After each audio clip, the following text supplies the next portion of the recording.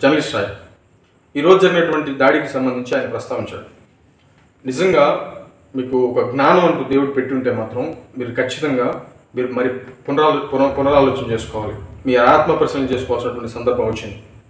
ఈయన అంటాడు తాగి గొడవ చేశారనేటువంటి కోణంలో ఈయన పబ్లిష్ చేస్తాడు. ఇంతవరకు ఏ ఛానల్ కానీ లేకపోతే ఏ వెబ్సైట్ కానీ లేకపోతే ఇంకోటి కానీ ఇంకోటి కానీ ఎక్కడ స్పందించలేదు ఈ విషయం. కానీ ఈయన డిక్లేర్ చేసి మాట్లాడుతున్నటువంటి సందర్భం అయితే ఉంది. జనసేన అంటే మీకు ఎందుకు అంత కోపం?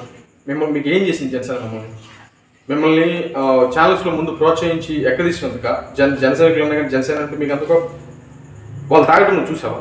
అక్కడ తాగున్నారని చెప్పేసి నీకు ఏమైనా నిర్ధారణ తెలిసిందా? లేకపోతే పోలీసులు ఏమైనా నీకు రిపోర్ట్ ఇచ్చారా? ఏం చేశారని? ఏ అసలు ఏ సాక్ష్యం చూసుకొని ఏ ఆధారం చూసుకొని వాళ్ళు తాగి గొడవ చేశారనేటువంటి విషయానికి సంబంధించి నువ్వు మాట్లాడుతున్నావు?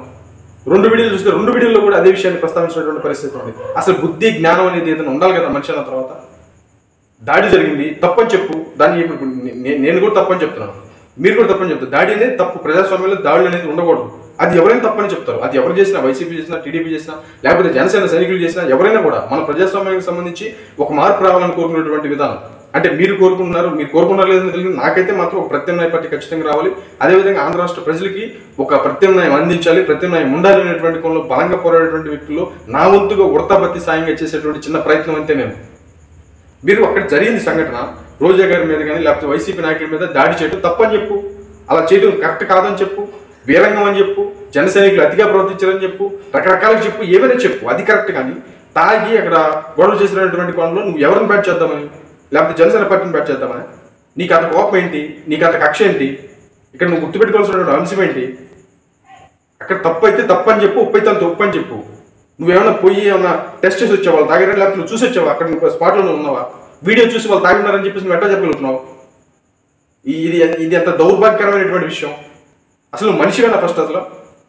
నువ్వు ప్రజాస్వామ్యం ప్రజల్ని ప్రజల సమస్యల మీద స్పందించేటువంటి వ్యక్తివేనా?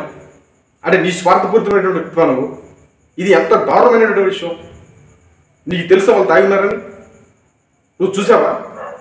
మరి చూడకుండా నువ్వు ఎట్లా మాట్లాడుతున్నావు? నీకు ఏ రిపోర్ట్ వచ్చిందని? వాళ్ళని వాళ్ళని అరెస్ట్ చేశారా? లేకపోతే వాళ్ళ మీద టెస్ట్ చేశారా? ఇవి ఎందుకు చేశారని చెప్పేసి ఏ ఆధారం ఉందని చెప్పేసి వాళ్ళ మీద నువ్వు మాట్లాడుతున్నావు? ఇది ఎంత దారుణమైనటువంటి విషయం. ఇది నువ్వు ఇంతటితో పోయింది అనుకోవద్దు దయచేసి. రోజులన్నీ ఒక్కలాగా ఉండవు. దుర్మార్గంగా వ్యవహరించేటువంటి వాళ్ళు ఖచ్చితంగా ఆ దుర్మార్గ విధానానికి సంబంధించి ఎప్పుడు ఎక్కువ కాలం నిలబడదు ప్రజలు యాక్సెప్ట్ చేయరు. ఎంతకాలం ఎంతకాలం ఇలా చేయగలుగుతావు? అంటే ఎవరికైతే బలం ఉంటుందో వాళ్ళకి భజన చేస్తూ కూర్చుంటావా? వైసీపీ పార్టీ అయినా సరే టీడీపీ అయినా సరే జనసేన తప్పు తప్పుగా చెప్పాలి. ఇప్పుడు జనసేన పార్టీకి సంబంధించి తప్పు నేను చెప్పలేదా? మరి నేను నేను నేను స్పాట్లో లేను. వాళ్ళు తాగున్నారో లేదో నాకు తెలియదు ఇంక ఏ ఇన్ఫర్మేషన్ ఏం లేదు.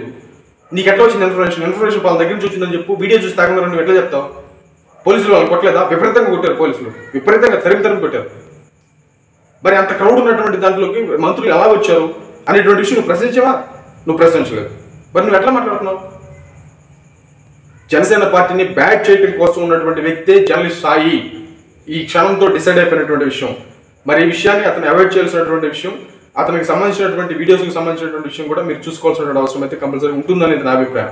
అంటే ఇక ఆయన ఫాలో అయ్యేటువంటి వాళ్ళు ఫాలో అవ్వండి. నేనేమంటానంటే ఏ పార్టీకి సంబంధించిన సరే రేపొద్దున వైసీపీ పార్టీకి సంబంధించిన లేకపోతే గురికి కోరికైనా కూడా ఇది చాలా ప్రమాదకరమైనటువంటి సమాజానికి ప్రమాదకరమైన వ్యక్తి అనేది నా అభిప్రాయం.